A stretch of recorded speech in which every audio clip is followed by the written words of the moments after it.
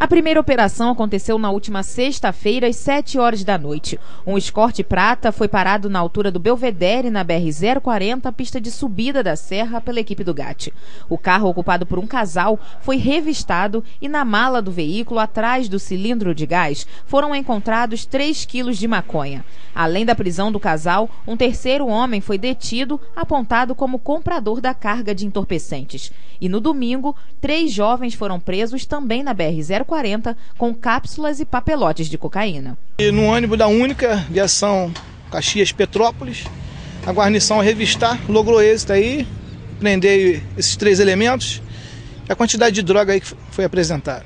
A operação foi feita por determinação do comando da Polícia Militar em Petrópolis, em decorrência da retomada pelo Estado da Rocinha no Rio de Janeiro. Teve a determinação do seu comandante, Coronel Vinícius, de que nós fôssemos até o Belvedere, juntamente com a Polícia Rodoviária Federal, e fizéssemos a operação com o objetivo, né, como consta em todo o estado do Rio de Janeiro, coibir a ação de traficantes aí oriundos né, da favela da Rocinha, que viesse com destino a BR, a Juiz de Fora, até outros locais.